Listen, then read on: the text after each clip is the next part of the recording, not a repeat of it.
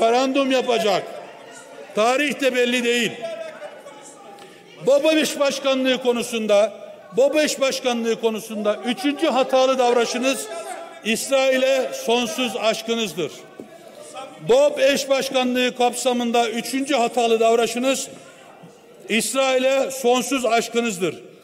Önce İsrail'in işgal vahşeti karşısında AKP'nin tutumu ve davranışını özetleyen AKP'nin tutum ve davranışını özetleyen AKP'nin tutum ve davranışını özetleyen Akif'in şu dizelerini tekraren burada takdim etmek istiyorum. Enseden aslan kesilmek, cepheden yaltak yedi. Müslümanlık sizden evvel böyle zillet görmedi. AKP'nin 22 yıllık iktidarı sonunca AKP'nin 22 yıllık, yıllık iktidarı sonucunda sergilenen dış politika sonucunda dış politikasını özetleyen sloganı buraya sizlerin huzurunuza koydum. İsrail aşkınızı, İsrail aşkınızı, İsrail olan aşkınızı fotoğraflarla göstermeye devam edeceğim. Sayın Cumhurbaşkanımız başbakan olur olmaz gitti ADL'den cesaret ödülü madalyası aldı. Biz bunu söylediğimiz zaman biz bunu söylediğimiz zaman diyorlar ki bu cesaret ödülü madalyasını diplomatlarımız için aldık. Diplomatlarımız için niçin Demirel'e vermediler? Niçin Özal'a vermediler? Niçin Mesut Yılmaz'a vermediler? Niçin Ecevit'e vermediler? Siz, biz her türlü koşulda sizin İsrail devletinin yaşama hakkını kimsenin tehdit etmesine müsaade etmeyeceğiz dediğiniz için. Yetmedi. Meclis Başkanımız Numan Bey'in 2008 yılındaki Birleşmiş Milletler Uluslararası Atom Enerji Kurumu'nun İsrail'in nükleer varlığının araştırılması önergesinde Türkiye'nin evet araştırılsın demediği için İsrail'e araştırma yapılmadığını söylemişti. Şimdi geçtiğimiz günlerde Cumhurbaşkanımız diyor ki vakit çok geç olmadan İsrail'in nükleer silahları şüpheye yer bırakılmayacak şekilde denetlenmeli. O zaman böyle diyorsunuz, bugün böyle diyorsunuz. O gün İsrail'in lehine, bugün toplum kızıyor diye aleyhine. Yetmedi İsrail'e olan aşkınızı ifade edecek. 2010 yılında Mayıs ayında İsrail'e büyük bir jest yaptınız. İsrail'e büyük bir jest yaptınız. OECD'ye girmesine onay verdiniz. Siz yaptınız. Yetmedi bir jest daha yaptınız. İsrail'in NATO'ya onay verdiniz. İsrail'in NATO faaliyetlerine katılmasına siz onay verdiniz arkadaşlar ben vermedim. Türkiye'de ne biz ne Cumhuriyet Halk Partisi ne diğer partiler hiçbirisi son 20 yıldır iktidarda değil. Siz verdiniz. Sizin tarihinizde olanları söylüyorum. İsrail aşkınızı özetleyen bir cümleyi de parti sözcünüzden söylüyorum. İsrail aşkınızı, İsrail devleti ve halkı Türkiye'nin dostudur. İsrail Sayın milletvekilleri lütfen hatip sözünü tamamlasın. Tamamladıktan sonra grup başkan vekilinize söz vereceğim. Lütfen sayın milletvekilleri lütfen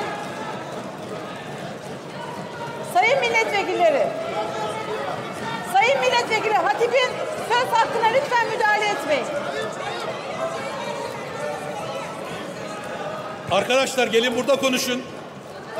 Gelin burada konuşun. Sayın milletvekilleri hatip kürsüdeyken lütfen sükuneti sağlayalım. Sayın Meclis Başkanımız dedi ki hatip konuşurken bağırmak sokak adabıdır. Dün dedi, dün.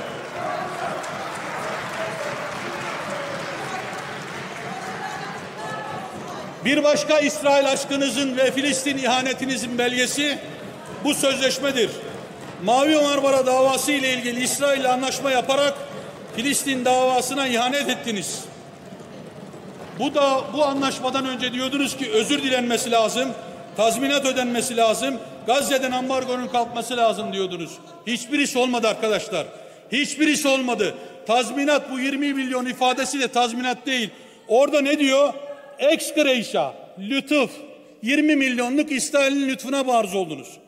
Bu anlaşma İsrail vatandaşlarının her türlü sorumluluktan tamamen muaf tutulmalarını sağlayacaktır.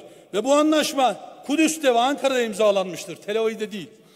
İsrail Ağır, İstanbul Ağır Ceza Mahkemesi bu anlaşmaya istinaden yargılanan İsrail Genelkurmay Başkanı ve dört tane sanığı yargılanmasını takipsizlik kararı verdi sizin sayenizde. 65-70 gündür Filistin'de soykırım yapıyor. Gazze'de soykırım yapıyor. Biz diplomatik ilişkilerinizi kesin. Gemi göndermeyin dedik. Gönderiyorsunuz. Hala diplomatik ilişkilerimizi kesmiyorsunuz ama İsrail sizi adam yerine koymuyor. Kendisi bunları çağırıyor. Kalkan Kalkan yüzlerce gemi devam ediyor. Gitmeye devam ediyor arkadaşlar. Bir taneniz çıkıp da gemi gitmiyor diyemiyorsunuz. Gemiler gidiyor. Gemiler gidiyor ve sizin bu yüz karanız. Dışişleri Bakanımız Dışişleri Bakanımız Hakan Fidan ilginç bir savunma yapıyor. İlişki, İsrail ile ilişkiler Filistin davasına zarar vermiyor. İsrail ile bir taraftan ortak çıkarlarımız temelinde ilişkilerimizi muhafaza ederken büyükelçimizi istişareler için merkeze çağırdık diyorsunuz. Güvenlik Konseyi'nin İsrail saldırılarını durmak, durdurmakta kifayetsiz kaldı diyorsunuz. Siz kifayetli misiniz arkadaşlar? Siz ne bulacaksınız? Ne yaptınız? Sayın Cumhurbaşkanı diyor ki İsrail'ler destek verenler yarın insan içine yüzde yan içine çıkacak yüz bulamayacaklar. Siz de bulamayacaksınız. Birleşmiş Milletler'inde Birleşmiş Milletler Güvenlik Konseyi'nde 13 ülke İsrail'le barış, İsrail'in ateşkes yapmasını talep etti. Sizin dostunuz olan Amerika bunu veto etti. Sizin dostunuz olan Amerika bunu veto etti. Siz, siz, siz hiçbir şey yapmıyorsunuz. Aslında yapıyorsunuz. Daha önce Irak'ta koalisyon güçlerinin işini bitirmesi için imkanlarınızı seferber ettiğiniz gibi bugün de gemilerle ve uçaklarla İsrail için lojistik imkanlarınızı aynı şekilde seferber ediyorsunuz. Gemilerin gitmesine müsaade ediyorsunuz. Utanmadan ticaretimiz diyorsunuz. İsrail'e gemiler diyoruz, teröristlerle beraber diyorsunuz. İsrail'e gemilerle mühimmat taşıyorsunuz diyorsunuz. Diyoruz CHP ile birlikte oldunuz diyorsunuz. İsrail'le diplomatik ilişkileri kesmelisiniz.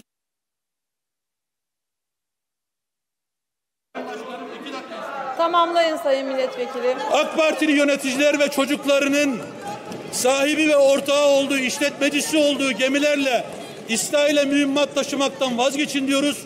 Starbucks'larda boykot yapıyoruz. lütfen kürsüdeki hatip İsrail sizin eylemsizliğinden, eğilmensizliğinizden, tavırsızlığınızdan cesaret alıyor diyoruz.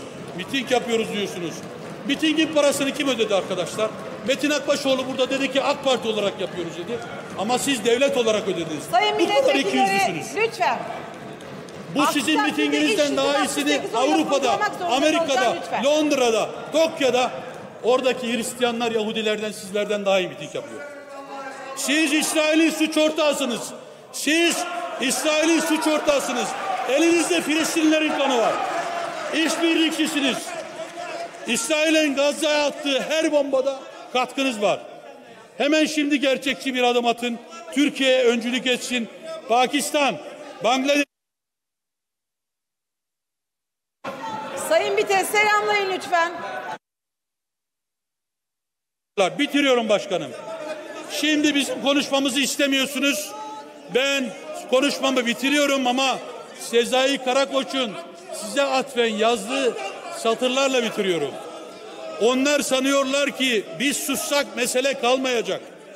Halbuki biz sussak tarih susmayacak. Tarih sussa hakikat susmayacak.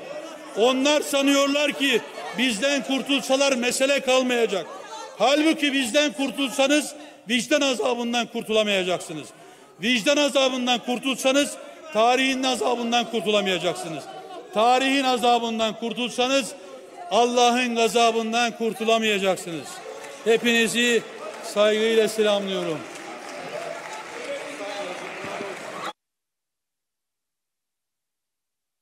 Birleşime 20 dakika ara veriyorum. Sizleri hüzünlü bir şekilde, hüzünlü bir hal içerisinde selamlıyorum. Tabii bugün yaşadığımız hadise e, çok benzerini, ümit ediyorum sonu öyle olmayacak. E, Kahramanmaraş Milletvekilimiz İmran Kılıç Bey vefatını biz genel kuruldayken öğrenmiştik. E, çok derin bir Yoğun bakımdaydı o, o zaman da ve burada genel kurulda biz vefat haberini aldığımızda e, konuşmalar yaptığımızı hatırlı, hatırlıyorum. Ve şunu görüyorum yani genel kurulda yaptığımız her şey aslında insana dair. Belki ilk defa her şey gözümüzün önünde cereyan etti.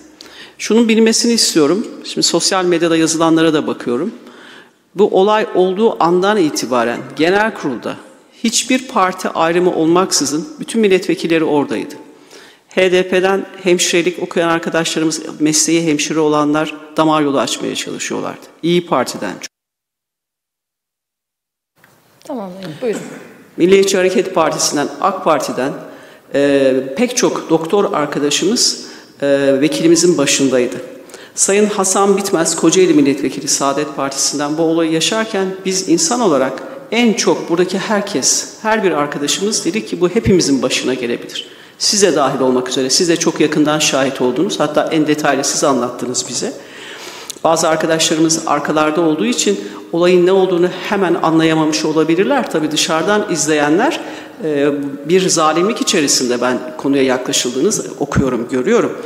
Bu o kadar insani bir şey ki hepimizin kalbine dokunan, hepimizin e, merhametle yaklaştığı bir durum. Ve dediğim gibi bizim buradaki bütün kavgalarımız siyasi kavgalardır. Biz insan olarak birbirimizi seviyoruz, birbirimize saygı duyuyoruz. Farklı partilerden dostluklarımız var, arkadaşlıklarımız var. Biz düğünlere gidiyoruz, cenazelerimizi paylaşıyoruz. Bütün burada yapılan törenlerde cenaze Buyurun. bütün siyasi partilerden arkadaşlar ortak katılıyoruz. O sebeple lütfen bu hastalıklar üzerinden böyle bu kadar önemli olaylar yaşanırken bir insan canıyla cebelleşirken buradan da siyaset üretilmesin. İnsani olarak buradan benim çağrım burada olan biten hepimizin başına gelebilir. Bir milletvekili arkadaşımız şu an canıyla cebelleşiyor. Biz ona dua ediyoruz bütün kalbimizle ve ben hem kendisine hem ailesine hem Saadet Partisi'ne e, bu anlamda derin bir geçmiş olsun diliyorum. Şu an siyaset yapma zamanı değil, şu an yapmamız gereken şey insani olarak kucaklaşmaktır. Türkiye Büyük Millet Meclisi aynı zamanda bu birlikteliğin de gösterildiği yerdir. Bunu ifade etmek istiyorum.